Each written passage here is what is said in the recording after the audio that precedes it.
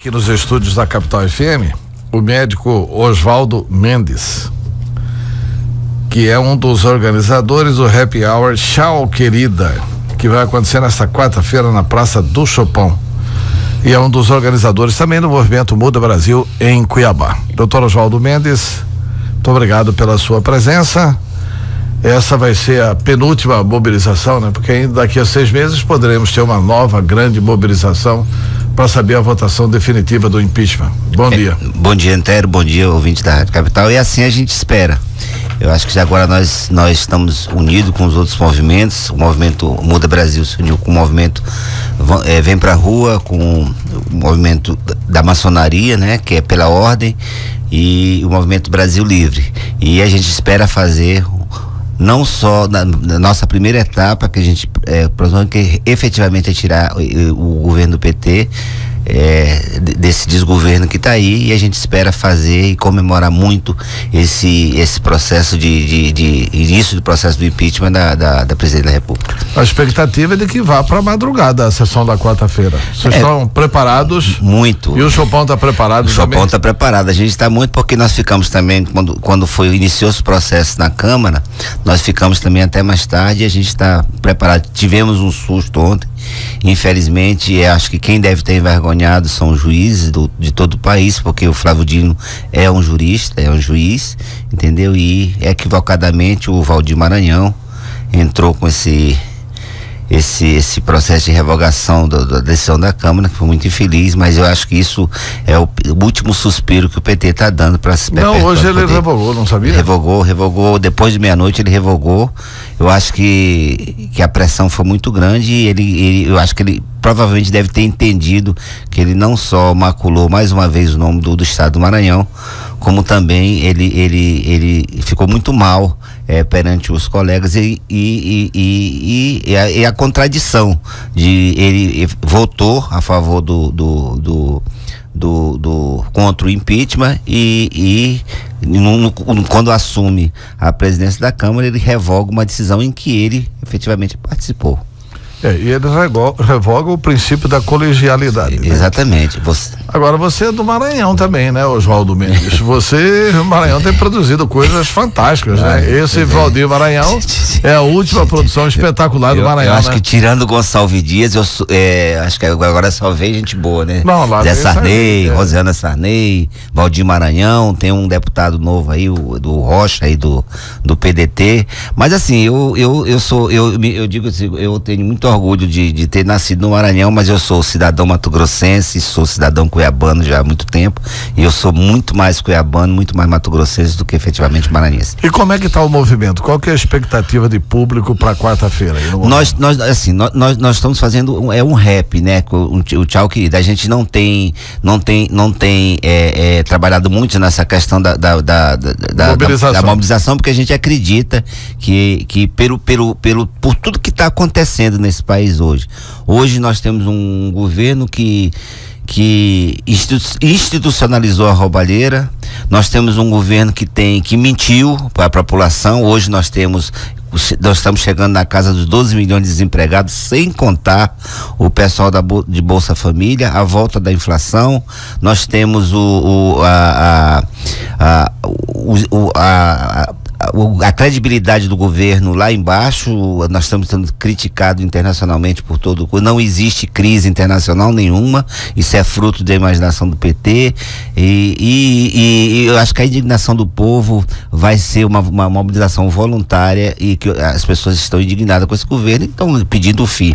Não é só os movimentos populares, como também a população. E uma coisa que você comentou é, no começo da sua, do, do, da, do, do, seu programa é em relação à ordem desse país. Eu acho que é inadmissível hoje a gente ver um movimento de sem terra, um movimento sem teto, tomar conta do país, incendiar, é, é, bloquear é, grandes rodovias, tocar em fogo é, em rodovias, estudantes comandados pela, pela Uni, que é ligado efetivamente ao Partido dos Trabalhadores, invadir escola. Eu acho que o Brasil tem que entrar no trilho, tem que entrar na ordem. Pois é, e qual que é a expectativa em relação, vamos falar um pouco de futuro, em relação ao governo Temer. Nós, nós, é, nós... o movimento ficará na rua se tentarem parar a Lava Jato? Não, o movimento Porque vai. Porque ele coloca no Ministério da Justiça um cidadão que foi advogado do Eduardo Cunha, né? Isso, nós a gente, o que a gente, a gente isso é, é nós, nós chamamos de primeira etapa. Nós não vamos ficar é, em casa. Eu acho que o, o, país continua. A gente guarda uma expectativa nesse governo agora. Eu acho que é alternativa constitucional. A gente de maneira nenhuma prega é, qualquer tipo de, de, ditadura. O que a gente não quer efetivamente é golpe. A gente está seguindo rigorosamente a Constituição. Lógico que nós não vamos ficar parados. Eu acho que não é ainda o que a gente quer para o país. Agora nós vamos sim, nós vamos cobrar muito forte a, a, o, o, o Temer, do governo do Temer, né? E, e, não vamos ficar parados não, Antério. Eu acho que o Brasil precisa ser passado a limpo.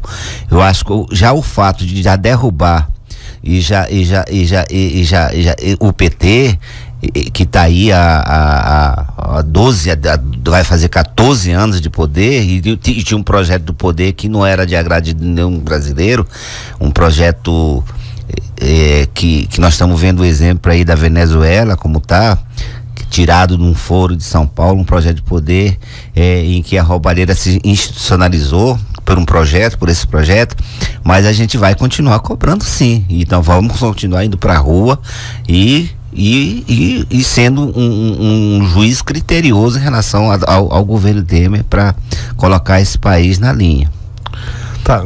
Vocês chegam a fazer alguma avaliação com relação à política local ou neste momento a centralidade é só a questão do governo da presidente Dilma? Nós estamos, realmente, efetivamente, a gente está centralizado é, no, no, governo Dilma. É, a gente ainda não, ainda não, ainda não fez uma, uma análise conjuntural de como está, até porque a situação do, do, dos estados é muito ruim, porque nós não tivemos um nada que, que, que acenasse para mudança. Por exemplo, o, a última, o, o, o, um dos últimos é, a mudança que houve na, na por exemplo, na reforma fiscal que a gente que a gente que a gente quer, que a população deseja, foi a lei de, de, de responsabilidade fiscal, que foi um grande avanço que é, que Mas a gente como o PT votou contra, como o PT não tá votou tá, não está cumprindo, não está né? cumprindo tanto prova que teve aí a, as pedaladas, né? E, e, a gente quer uma reforma tributária que eu acho que de fundamental importância, uma reforma política, eu acho que isso é importante. Então são realmente são as reformas que não são de um dia para outro, mas que a gente espera que os próximos governos cumpram aquilo que o povo brasileiro quer. E o Brasil não pode continuar mais a mercê de uma de uma de uma de uma, de uma divisão de, de tributos é, que a gente considera injusto, porque quem arrecada é, é, é os municípios e o governo é estadual e a, o governo federal fica com a maior porção para fazer o que quer. Inclusive, é, Antero, você que foi um, um grande senador em relação a essas emendas parlamentares que a gente considera que isso efetivamente tem que acabar. Tem que acabar a emenda parlamentar? Eu acho que tem, Antério. Eu acho que nesse, nesse jogo de troca, agora, como, como, tá, como aconteceu agora, eu acho que não é salutar nesse momento que você perpetue essa emenda parlamentar, porque é um jogo de, de, de, de, é um comércio muito muito forte, infelizmente pelo nível de, de deputados e senadores que nós temos hoje aqui no país. Sabe quem que acabou com a emenda parlamentar foi a ditadura brasileira. É, que aí os parlamentares não podiam influir na questão do desenvolvimento econômico, né? Eu acho que tinha que organizar a questão é, da, da, isso passa da pela... participação do parlamentar na votação do orçamento. Senão o parlamentar vai ficar só para dar nome de rua. Isso, mas, e, mas efetivamente isso passa pela reforma tributária. Eu acho que pela reforma política isso passa. Eu acho que o que tem que acontecer é que a reforma, a, a emenda parlamentar, ela não pode ser moeda de troca. É isso que a gente condena. Não somos absolutamente nada contra isso, mas que efetivamente, como está nesse momento, não é saudável. Certo. É, Oswaldo Mendes. Mendes. Eu falei aqui, Oswaldo Betânia, por quê? Sua assessoria que passou, explica pra nós aí. Eu acho que a assessoria é minha esposa. Né? É. acho que minha, minha esposa, minha esposa é que se chama Betânia, então por isso que botaram Oswaldo Betânia. Eu não é. sei se isso tem, tem, a ver com alguma coisa de Salvador, mas eu sou nascido no Maranhão, como você bem sabe, né? Bom, o nome da sua esposa não é Betânia? É Betânia. É Betânia? Minha esposa é mineira, é Ah, Betânia. então tá bom. Mas se me chamarem de Antero Cristiano, eu gosto. Imagina, é, é. Mas, Oswaldo Bendo, muito obrigado pela entrevista. O microfone da Capital FM à sua disposição para você convocar realmente as pessoas de todos os movimentos, né? Porque está todo é, mundo to, unido. Todo mundo, todo mundo, para o Happy Hour Tchau Querida. Tchau Querida, é, eu é, Até carinhosamente o tratamento é, com como, Dilma, né? Como o Lula o trata. Eu acho que é, é importante que a população compareça, como sempre vai ser uma manifestação, vai ser ordeira como sempre, sem, sem, sem, sem raiva, sem ódio, pelo contrário, a gente vai irradiar sim a felicidade por uma, por uma vitória que a gente conseguiu, que ninguém acreditava pelo, por esse projeto de poder enraizado nesse país. E agradecer, Antero, essa, essa oportunidade que você tem nos dado, é, para que a gente possa estar é, tá divulgando o que a gente tem feito na rua e a população que vá ao Chopão, que a gente está pronto. E você também está convidado como, como cidadão é, para que participe com a gente dessa de, de mais uma vitória é, do povo, da população brasileira. Tá, muito obrigado pela presença e leve a Betânia. Com certeza. Tá Oswaldo Mendes falou aqui do movimento Muda Brasil. Hoje, portanto, aliás, amanhã, né?